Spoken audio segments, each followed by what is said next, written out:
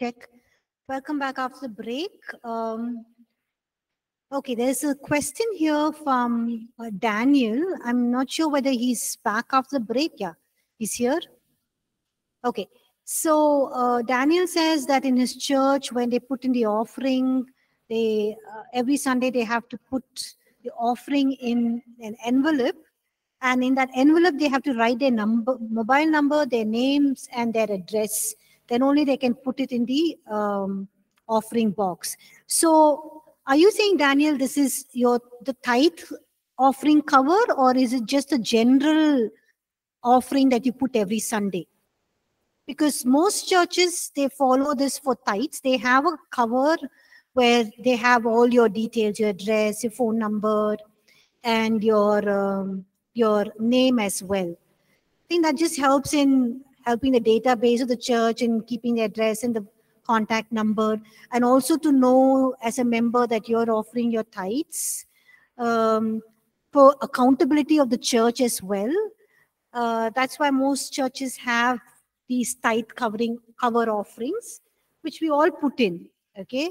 But are you talking about the general offering that we take every Sunday?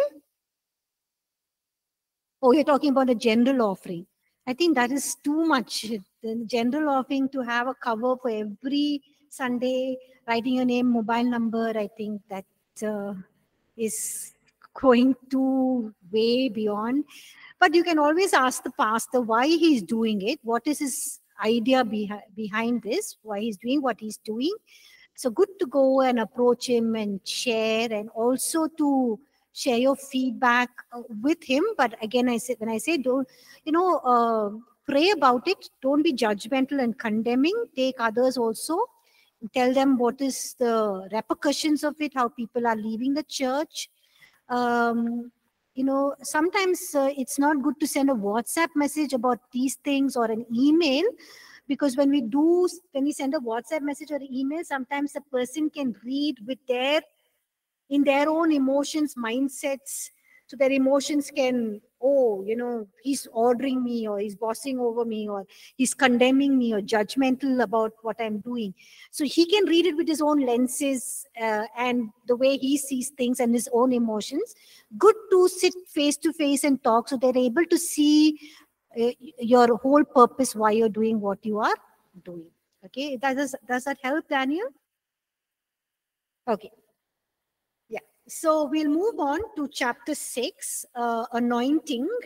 Okay. Now, when people are saved, healed, delivered, when we pray, or people's lives are transformed, when we preach and teach, uh, how does it happen? When people are healed, when you pray or delivered, or they get receive an answer or uh, restored, you know, there's a breakthrough when you preach or teach and you pray for them what really happens? How does it happen in their lives? How does this miracle happen? It's a work of the Holy Spirit, okay? And it's the anointing that flows through you, okay? So is it you as a person who's doing it? No, it is the anointing. What is the meaning of anointing of the Holy Spirit? When we say anointing of the Holy Spirit, what do we mean? I've mentioned this couple of times when I was teaching the previous two publications. Anyone remembers what is the meaning of anointing?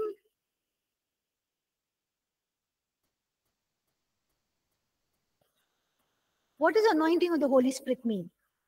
Two P's. P for pen, two P's. What are the two P's? Come on, think. What do you need to bring about healing and deliverance? What is a P that you need? Power, right? Hello, wake up, everyone. The power and the presence of the Holy Spirit. So remember, anointing two P's power and presence. Okay. So it is not how gifted you are, how great a speaker you are, how charismatic you are, and how, you know, how much of the word of God you know, how you can just you know rattle of god's word and preach and teach and uh, how gifted you are in preaching and teaching and speaking and all that even people who are great orators can preach and teach but what is it that transforms people's life or people are saved or people are healed and delivered and restored is the anointing of God. Okay. And um, we learned about, you know, we learned about gifts. Remember, we talked about gifts, function, and grace when we studied, I think, uh, receiving God's guidance. We studied about function, gifts, and grace. Okay. Now, why is gifts and grace given to us?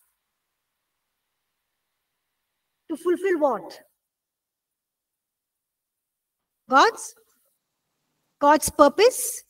Gifts and grace is given to us to fulfill the function that God has given to us in the body of Christ. Do all of us have a function in the body of Christ? Yes. So the gifts and grace are given to fulfill that function. Okay. So what is the gifts of God given to us? You know, gifts are an anointing are given to people for what? Look at what the word of God says. Uh, look at your uh, your um, Uh, the publication, your notes. Sorry, look at your notes, please, and look at the three references given there. I want you all to all read it quickly by yourself and tell me what are anointing and gifts given to people. Why are anointing and gifts given to people? To serve people. What else? To build up the body. Thank you, Sister Of the believers. Build up the body of believers. Okay, what else? Is given for the edification or building up of the body of the uh, believers also. So that God's people can be served. Gifts and grace is not given to show how super spiritual, super mature, superman, superwoman you are. Okay, there is no superman, superwoman. All of those things is not is not applicable when you know you're moving mightily in the anointing. It's actually it's just showing how the power of God is being released to you because how intimate you are in your relationship with God. It is there to gifts and grace is also given to build people and to expand the kingdom of God. Okay, so sometimes what we mistake uh, or make a mistake in doing is when when people preach and teach and you know people are restored and people are saved or when they pray there's healing deliverance happening. We associate it with that person right? With that man and woman of god. That's wrong okay? We shouldn't associate it with just them. It's we know we need to know it's the power of the holy spirit the anointing of the holy spirit more uh, flowing in and through the person okay and also, the more anointed you are, the more gifted you are, what should you do as a person? If you're very gifted and anointed, what should your attitude be? Huh? You should be humble, yes. You should be a servant to all. Remember what Jesus said? Follow the example of what Jesus did. What did Jesus do? He said, He have come to serve and not to be served. Did Jesus mightily flow in the anointing and the gifts? Yes or no? Some of you are doubtful. Okay. But we see that he came to serve. So our gifting and anointing should be more to serve the body of Christ and to build the body of Christ. Okay. Our gifting and our anointing should not uh, be used to base our identity. Okay we should not look at ourselves that giftings and anointing should not be something that we think we are spiritual mature you know more godly or super spiritual superman superwoman compared to other people. What should on what should our identity be based on or built on? What should our identity be built and based on? Word of god. Who we are in christ okay who we are in christ. Our identity should not be based on the good works the giftings the anointing the spiritual calling. All that is very important. Okay the good works that we do are yes it should reflect christ. Okay I, identity who we are in christ. Okay paul says we are god's workmanship. We are his handiwork. We are created in christ jesus. We are bought by his precious blood.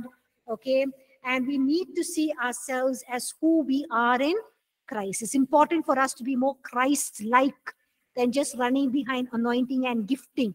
The more Christ like we are, the more anointing and anointed and gifted.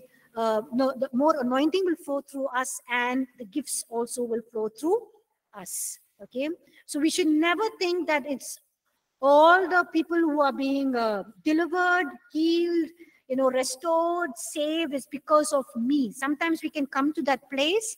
It's very dangerous. We need to humble ourselves. Always know that it is God, the Holy Spirit, working His anointing, His power, His presence, and we need to give God all the glory. So, how do we keep ourselves constantly in a place of uh, uh, of uh, humility? even when we are flowing mightily in gifts and anointing. How can we keep ourselves in that place, the right place, where we don't come to a place of pride and thinking it's all happening because of me, because I am super spiritual or I am super powerful? What should we do? What are some of the steps we need to take? Come on. We need to be mindful of who we are, that we are just earthen vessels is without God's anointing, we are nothing. We need to be humble before God. Another thing, word starts with O. What should we do? Obedience, yes. Always living in obedience and under God's will. And we need to keep our, what is our greatest enemy? Who is our greatest enemy? Huh? We learned, other than the devil, somebody in us. Our flesh. Our flesh is our greatest enemy. Yes, we ourselves are our greatest enemy, our flesh. So we need to keep our flesh in control and keep control over our mind. Okay. Um, now, in the Old Testament, God had asked them, you know, to make a special um, anointing oil you know, told Moses to make a special anointing oil. He gave him all the ingredients and told him that they should not make, nobody should use the same ingredients to make any perfume or lotion that they can apply for on their own bodies. Okay, this anointing oil is specifically to be sprinkled on every utensil and everything in the tabernacle. Okay, so this holy anointing oil in the Old Testament was a type of the anointing of the Holy Spirit in the New Testament. Okay, which means we need to understand that the anointing of God cannot be manifested in the flesh. Okay, um, it cannot be used for fleshly purposes. Okay, we need to treat it with reverence and awe, the, or even the anointing of God. Okay, the anointing is pure, but we as earthen vessels, we are not pure, we are imperfect. Okay, but the anointing is perfect. And sometimes we can flow mightily in the anointing, but we can come to a place where we are filled with pride and we can move in the things of the, we can move in our fleshly nature or in our carnal nature. Okay, and that is when we can imitate the anointing in the flesh and we can say, you know, God is saying this when God has not spoken to us. We're saying the Holy Spirit is saying this when the Holy Spirit is not spoken to us. Or sometimes, you know, we are so pressurized to say something, to do something, to release words of prophecy or words of knowledge, and we're not getting anything. It's okay at that time just to just pray and close the service, or you know, just pray generally for that person you know, not just uh, saying something out of your own flesh or carnal or your own mind or your own emotions and saying, this is what God is saying. This is the word of God for you. Now, that is wrong, okay? So we need to keep our flesh in control and restrain and, um, you know, and always manifest with the pure work of the Holy Spirit as He requires, as He does, as He wills in and through our lives okay? So what are some of the things we need to do is we've already said some of the things that we need to do how we can manifest purely in the spirit and keep our flesh under subjection is you know not to gratify the things of the flesh to die to the things of the flesh to you know to grow thing, uh, the things in the spirit and also to have an, a heart attitude where god is given all the uh, glory okay and our willingness to only say and do what god wants us to say and do just like jesus okay jesus only said and did and healed people who he wanted. He does he does not give any reason. Even for Lazarus, when he went to raise up Lazarus, he went on the fourth day. He does not give any reasons for that. My father told me this, that, and all of those stories. He just says the important things. Even when he went to the pool of Bethesda, he healed only one person, but it's God's will to heal everyone. But he does not say why he healed only one person and walked off and did not heal the others. So you just do what God is asking you to do and telling you to do okay um, and also when you you know um, when you do that you need to be very careful that you are not flowing out of your flesh but only saying and doing what the spirit of god is asking you to uh, do okay sometimes we can look at great men and women of god who are flowing in the gifts and we start copying their style. You know the way they shake and the way they stutter and the way they scream and shout and jump and run from one corner of the stage to another and their style the way they throw their coats and handkerchiefs and and all of those things. You know don't do all of those things. Just do what the spirit of god is leading you to do. Even if you're very quietly just standing there and praying just do that it's the power of the holy spirit that should be manifested the power of the Holy Spirit that goes out and heals and delivers people and not these styles. But we're not condemning people who do all of these styles. It might be their way, they want to do it. Okay, they like doing it. But it's not that we need to copy that. And, you know, some of us shaking and screaming and jumping and, you know, oh, like that, and blowing into the mic, screaming into the mic. All that is not really necessary. Okay. Paramita says, I saw some believers sprinkling the holy water and holy oil over their houses every day. Is it necessary? I feel they are giving more importance to oil rather than God because of whom the oil is effective. Am I wrong to think that way? No, you're right to think that way. But Paul says uh, in Romans chapter 14 and Romans chapter 15 as well, but some people do things in their own faith, in what their childlike faith, you know uh, let them do. Some people think someday is important.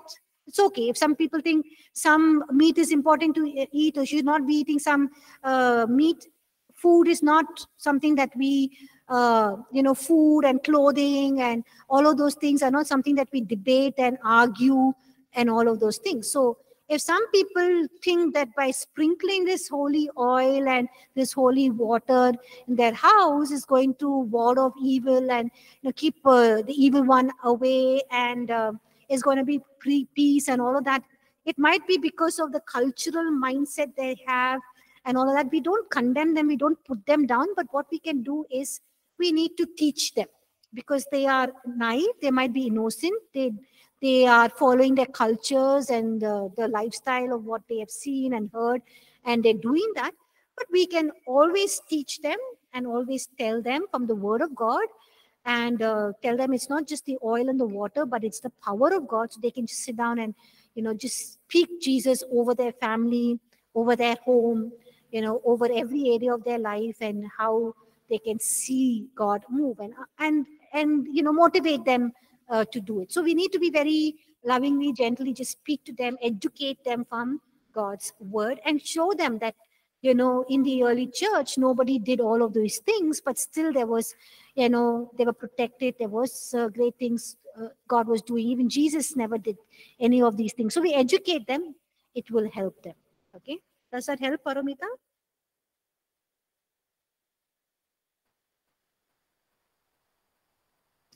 okay um,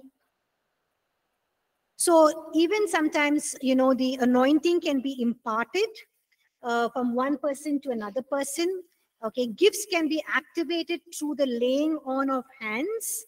Okay, so some of the gifts you have, when you lay hands on somebody else, they can, their gifting in that area can be activated.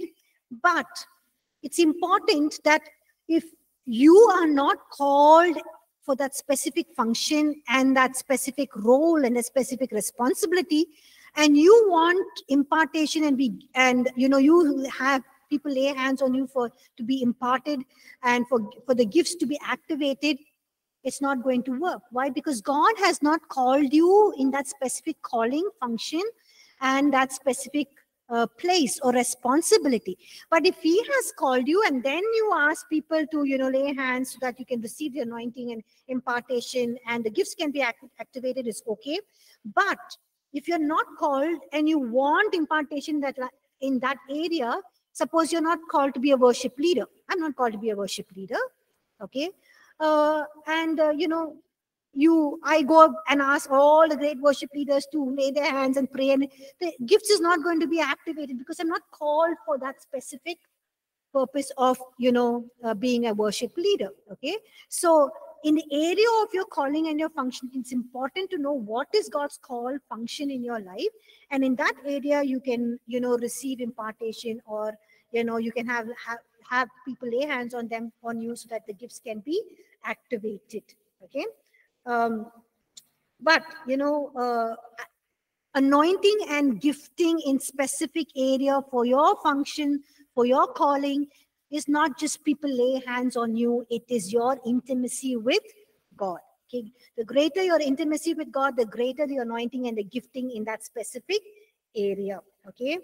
The other thing is you know when we are moving in the gifts of the spirit and the anointing you know allow yourselves to be judged. Sometimes, you know, uh, we can do things. We're not perfect human beings, right? Anyone here perfect? No. Okay. Although the Spirit of God is perfect, the anointing is holy, pure, and perfect. We, as God's instruments, are not perfect, and God knows that very well. Therefore, you know, whatever is ministered through imperfect vessels should be judged. That's why we say when you, you know, the other eight methods, you know, of um, whether prophecy or godly counsel, we always have to uh, validate that with the word of God and with the Holy Spirit. Okay. So why do we do that? Even though the anointing is pure and perfect and holy, because the vessels through which the anointing is released is imperfect. Okay. And also, we need to be as imperfect vessels, come to a place where we are growing into Christ likeness and uh, maturity in the ways of God. Okay. Um, you know, the last thing in this chapter is that, you know, God can manifest, the Holy Spirit can manifest in very creative ways. Sometimes He can do things that are in a new way that we don't see in the Word of God. For example, Peter's shadow. You know, Peter, Apostle Peter, when he was walking, his shadow, they kept sick people uh, and even his shadow healed. So we can't say, hey, this is not a move of God. You know, this is demonic because we don't see this anywhere in the Old Testament. We don't see Elijah doing this. We don't see Elisha doing this. Don't see any of the prophets doing this. This is not God's move. Okay. Uh, Paul's apron, you know, he was working and he was a businessman. His apron, his handkerchief, put on people, they were healed. Hey, no, this is not the word of, way of God's doing. This, this is not, we don't see this anywhere in the Old Testament. So we can't limit God in a box. Okay, God can do things in new creative ways. Um, but we need to be open to the manifestation and the work of the Holy Spirit, the mu- move of the Holy Spirit, which can happen in unusual ways. Okay, but also we need to know whether it is the move of the Holy Spirit. How do we know if it is the work of the Holy Spirit or demonic spirits? When we see a new, fresh manifestation or creative way of science, healing, and deliverance happening, how do we know? Whether it's the work of the Holy Spirit or the flesh, the carnal nature, or the uh, demonic spirits working. I've, I've explained this to you. God, Holy Spirit glorifies Jesus, you have to look at the results. Wait and look for the results and the fruit. What do I mean by results and fruit?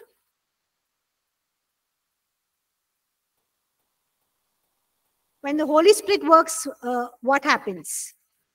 When it's a move of the Holy Spirit in a creative new way, what happens? What happens?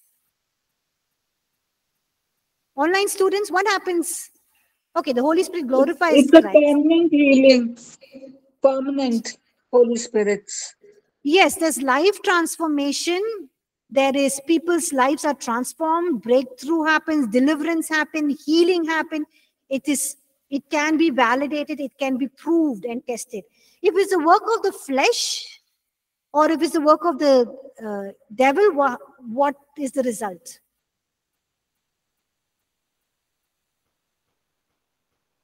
No results, right?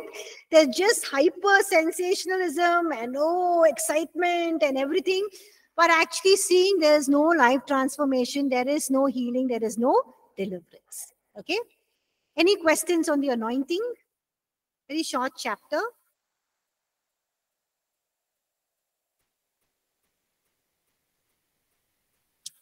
No questions? Online students? Okay, then we'll move to chapter 7.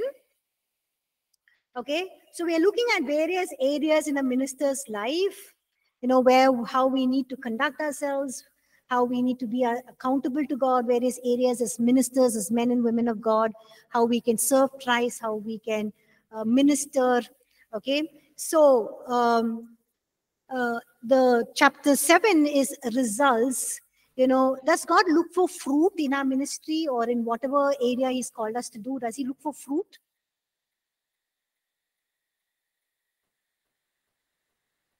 yes okay he looks for fruit how do we know he looks for fruit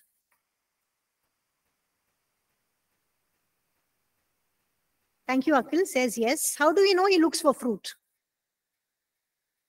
online students are you there how do we know that god looks for fruit Okay, scripture in the New Testament. Which scripture in the New Testament? Ah, branch is not bearing fruit. Cut that branch. Prune the branch. John chapter 15. Also the parable of the steward, the parable of the talent that Jesus speaks about. Okay. Um, Jesus is referring to trees which do not bear fruit to cut it off. Yes. The vine and the branches, right? So what happens? The wine dresser, what does he do when you don't bear fruit? What does he do? He'll cut it off. Okay. And students cut it off. Okay. What happens when you're bearing fruit? John chapter 15, verses 1 and 2. What does the wine dresser do even when you're bearing fruit? Look at your Bible. What, how do you bear more fruit? What does he do? Please look at your uh, notes or the Bible, John chapter 15, verses 1 and 2. Pruning. Thank you, Lucy. Um, what would I have done without Lucy in my class? Thank you, Lucy. Yes, pruning. Yeah. What does the meaning of pruning? My mother loves to prune our garden, and my father really gets upset when she cuts off all the branches. And she's saying, I'm pruning it so that it will grow nicely and will bear more flowers and fruits. Okay.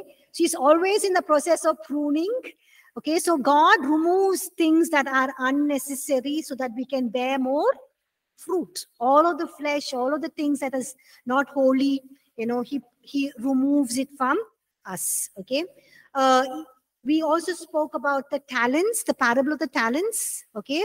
The parable of the talents, what does Jesus teach us from the parable of the talents? You know the parable of the talents? One person is given how many talents? To make use of your talents Okay. and how you make use of your talents. Okay. Just make use of your talents. Is it just about making use of the talents? Yes, multiply. Thank you for that word. He's you he's looking for multiplication. Did you know that God is not just looking for us to use it? We can use it and not do use it, not bear any fruit. But he's using for he's looking for multiplication. Okay. So that is what he is looking, not just for us to maintain it, but to increase and to multiply. And the persons and the stewards or the, the, the men who multiplied it, what does he say? Well done, good and faithful servants. Okay. So he's God is looking for multiplication. Okay. Now, how can we bear fruit? What should we do to bear fruit? Come on, simple. This is easy, okay? Yeah, Akil says to increase by multiplying and effectively enhancing what we are blessed with. Thank you, Akil. Okay. What should we do in the Christian ministry to be fruitful? We should work, well, just work, labor hard, right? It's it's hard labor. What else? What should we do to bear fruit? Wakey, wakey, everybody, think. Have you heard me talk about these two words which start with P and E? Spider, perseverance. Have you heard me say that before? Endurance. Have you heard me say that before? Yes. Faithful. Have you heard that before? Patience. Have you heard that before? Yes. So all of these things we need to do. Be patient, faithful, endurance. Thank you, Lucy. Endurance. Okay. What happens if we don't see fruit? What should we do? You should wait. How do you wait? Everything happens according to season. What should you do in the waiting time? Just pray. Continue to do what you're asked to do. Faithful be endure. Yes. What should you do when you don't bear fruit? Examine. Yes, you need to examine. See why you're not bearing fruit. What is happening? Is it lack of knowledge, negligence, skill? Are you doing the will of God? Are you in the right place, the right time? Remember positioning yourself, you know, fulfilling God's purpose. Are you at the right place, the right time, doing the right things? You know, uh, because when you do that, you would receive the uh, um, fruit. Also, you need to know which season you are in. Remember the seasons we've learned in fulfilling God's purpose? It can be hard labor, groundbreaking season, foundation season, it can be building season, it can be pruning season, it can be harvesting season. Which season you are in, you need to know about that. Okay. So you need to ask all of these questions, take stock and see because God is looking for fruit. Okay. Um, when you bear fruit, you know, uh, it's good to testify, right? Yes or no? Give a testimony. Why is it important to testify? You should keep quiet about it when you're bearing fruit. Why should you testify? What happens when you testify when you're bearing fruit? Come on. You give glory to God. Okay. What else? What does it do to people when they listen to your testimony? It encourages people. Yes, thank you, Sonia. It, ed- it encourages them. Thank you, Akil. It edifies them. It is to witness that, hey, when I am able to do this, God can do it through you. Hey, that person did it. God can do it through me. I need to also press it. Some kind of enthusiasm, some kind of uh, energies. And Andrew says this faith moves us to another level. Amen. Okay. Yes. So, but when you're giving a testimony, how should you give the testimony? It should be like as it is, no extra masala. Yeah, no extra masala, not saying, hey, 100 people came, everybody was saved, everybody were healed. Okay, the move of God, you know, touched everybody, of course. But you can't say everybody was healed. You have to say the right numbers. I think, you know, even though there's a move of God, I'm sure the move of God touched everybody. But I think there was about three or four people who accepted Christ. About five of them. Even if it doesn't happen you know, in, there's no need to publicize and show. Said, yeah, I went and ministered, God moved, worked, um, just giving glory to God. Okay, just state the facts as it is, you know, uh, being accurate in what you are saying, and so that God can receive all the glory. Okay, and don't um, uh, exaggerate what has happened. Okay. Um, sometimes you know there are other people who uh, labor with us and because they labor hard with us we are able to bear fruit so what should we do we should give them the due honor okay recognition uh, uh, talk about their contribution what they have done because of which we are able to see the fruit. Don't say it's all about I, me, myself. Okay? Say as a team we did this, you know, how God is and how people pitched in, what people did. And so it encourages them and also it, uh, you know, also uh, it also shows the fact that, you know, when God sends people into our lives, we are mindful of that. We appreciative of that. We are thankful to God for uh, that. Do not rob other people of their honor. Okay and give God all the glory and honor, like uh, the psalmist says in Psalm 115, verse 1. Can somebody read that, please? Psalm 115, verse 1.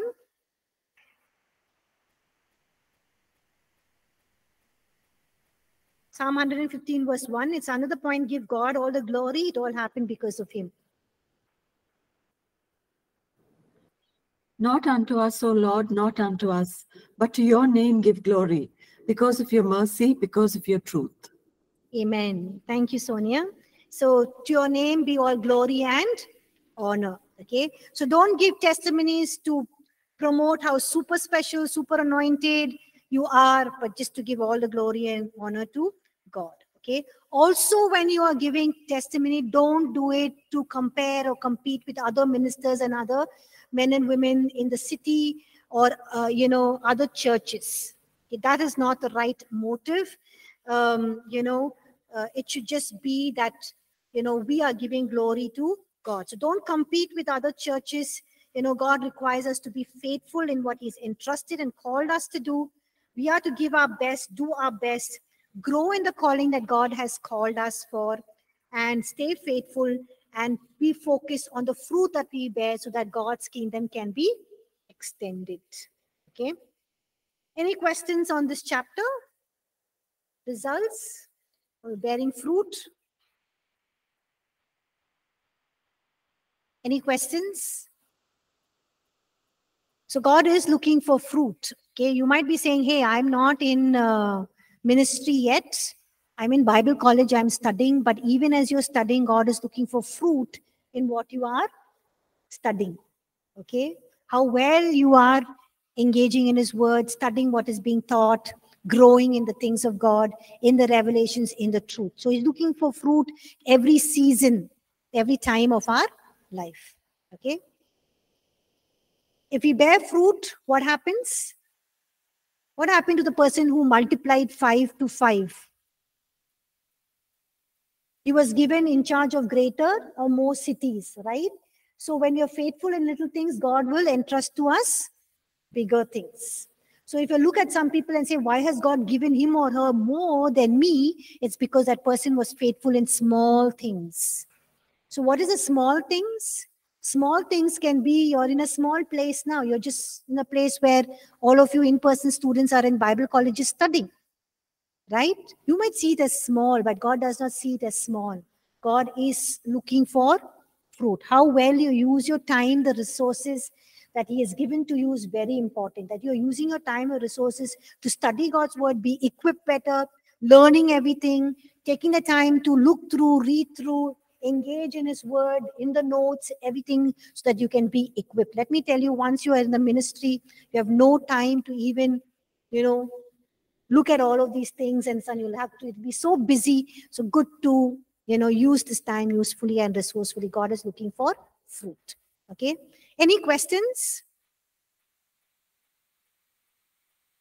Okay. Any questions, online students? We'll move to chapter 8 if none of you are having any questions. It's about fellowship. Okay. What is fellowship? In the body of Christ, what is fellowship? Hello, very simple. Come on, what is fellowship? Eating biryani and uh, enjoying. What is fellowship? Communion, okay? Fellowship is where a group of people gather, okay? It's communion. Close relationship with God is, okay? communion is it with uh, when you talk about fellowship in the body of christ is it with this like-minded people who think like us, who move along with us. Okay, uh, intimacy, fellowship is intimacy. Talking about fellowship with one another in the body of Christ here. So, what is fellowship? When you're talking, is it just people with our same wavelength, our same understanding, our same mindset? What if we come from other denominations, other styles of worship,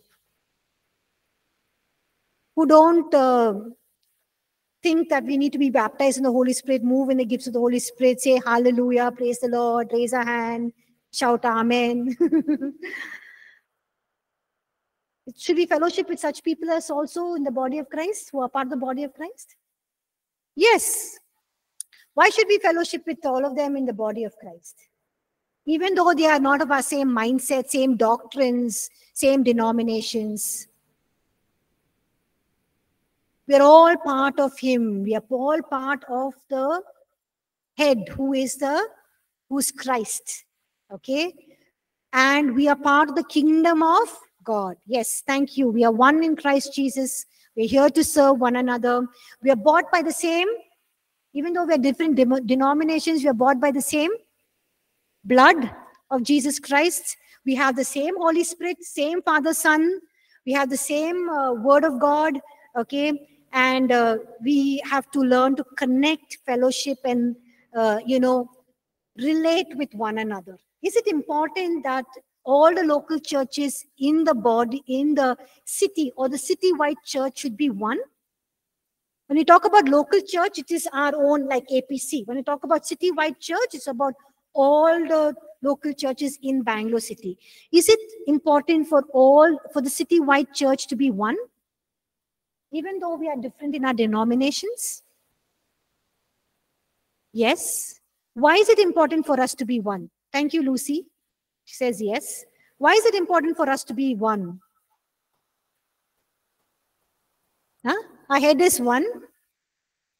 Only when we are one as a city-wide church can we impact our city. We can come against the gates of hell.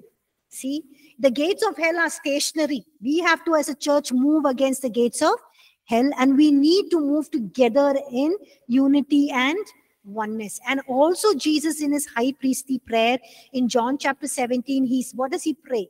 Father, let them be one as we are one. As the Father, Spirit, and Son are one, Holy Spirit are one, we need to be one. Okay. Uh, um, yeah, there's no so that there's no division amongst ourselves. Akhil says, Sanjay says, a kingdom divided against itself cannot stand, will not stand. Yes, very good. Thank you, uh, Sanjay. So we are all part of the kingdom of God and we are all called as kingdom builders. Okay. We are not building our own kingdom. We're not, all, we are not building just APC. You're not building your own church. You're not building your own ministry. Even when I'm part of APC, I'm, uh, I, I oversee a school outreach ministry called Catalyst. Okay. I just can't build a kingdom out of Catalyst.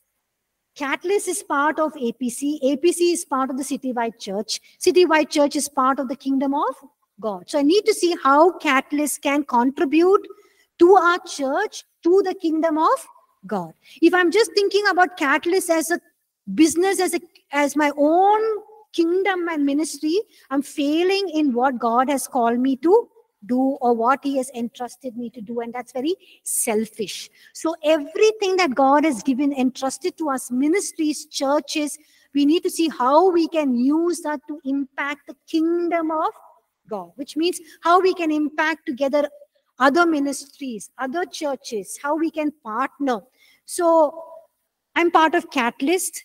How can i partner with others? We have our catalyst curriculum on our website. Anyone can use it anyone in any city, if they approach me and said, we want to use, start this in our city, I just give them our curriculum, the manual which I have written, and they take it and start it. And I don't, you know, dominate and tell them what they need to do, how they need to do. Just give them the curriculum, tell them how we do it here, and let them do it as the Lord leads them. So that is building the kingdom of God. And even if you look at how Pastor Ashish is thought about a, a, envision apc everything our publications the um, uh, resources, whether it's children's church curriculum, catalyst curriculum, you know, whether it is our publications, whether it is um, even, you know, supporting missionary organizations, pastors, starting churches in various cities, doing various, uh, uh, you know, youth ministries and various other things in different places. It's all to build the kingdom of God okay?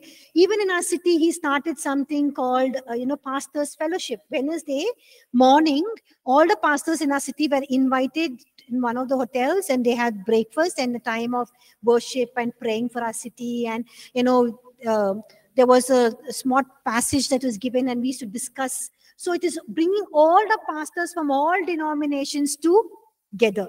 Okay? So when he's thinking, he's not just thinking about APC, how I can build APC, but thinking about how we can he can use what God has entrusted to him, all people's church, how he can use that to build the kingdom of God. And that is what we, you and I need to also do. Okay.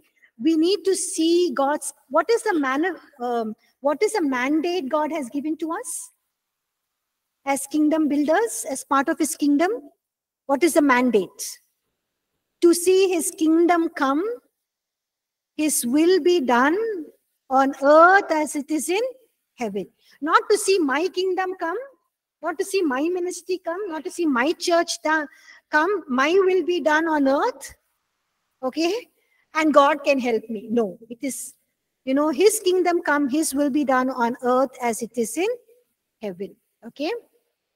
So, um, Esther says, yes, truly incredible pastor work for the expansion of God's kingdom. Yes, thank God for a man like Pastor Ashish and his the way he thinks and you know how he's leading us and guiding us and imparting to us um, in building God's kingdom. Okay, so um, we need to see uh, growth in the in the kingdom of God, not just in our promotion of our name, our work, our ministry. Okay, but see God's kingdom further and also, when we do that, we need to see that there is unity among the people of God, and people of God are strengthened. Okay. And as kingdom builders, you know, we need to look beyond our vision to see how we can bless other visions, other ministries, other churches, other ministers. That is why, as APC, you know, every year we support other ministries, other churches, other men and women of God. Okay. And as kingdom builders, we can also partner with others, step into their um, vision and, you know, help them to, uh, you know, um, how they can help build up their church. Just last two, three days back, I had somebody call me from South India and said, you know, we want to start a children's church. Can you help me how to start children's church?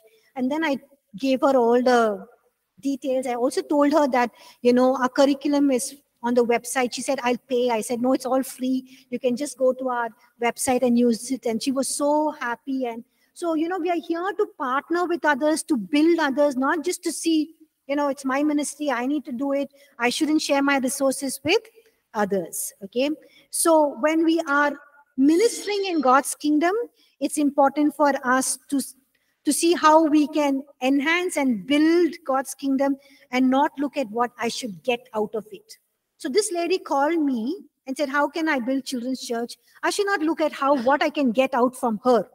See, I should be willing to say what I can give of what God has taught me and entrusted to me, how I can give it to her, share it with her so that I can help build her and build the children in her state and extend God's kingdom. So it's not about what I can get, but what I can give of what God has given to me to bless others and to help build his kingdom. Okay. Uh, we'll uh, continue with um, this chapter, just a few more pages um, next Friday. Anyone has any questions? Just one more minute before we close. Any more questions? Any questions? Um, today I'll be releasing assessment three. Okay, I'll give you a week to do the assessment. Okay, so it's not a hurry. Um, but I'll give you a week to do the assessment. It'll be the same check boxes and uh, true and false maybe and um, and um, um, multiple choice. Multiple choice means only one answer. Check boxes means more than one answer. All the answers are there in your textbook. Um, and I'll tell you which lessons from receiving God, this purpose and code of honor. I think I'll just give you two chapters. Okay. Um, that's it. Yeah. And regarding the system, this is not a system that I uh, uh, invented. It was a system that's put in place about these checkboxes and um, these, um, um, you know, multiple choice. The way that way that it is uh, played out is something that has uh, been the system has been put in place. Uh, even the format about how marks is given, how mark, marks should be, you know, uh, you know, deducted. All that is a system that is laid in place. So I'm just following the system. So, and the system has been laid in place because Pastor says it's an open book question. And uh, since it's an open book question, all the answers are given there. So, so fair enough. If you don't get all the answers right, you don't get the points. Okay. Thank you, Daniel, for your um, comment. And uh, thank you, Lucy and Daniel. Thank you, everyone. Have a blessed weekend, everyone. And I'll see you next week. Thank you.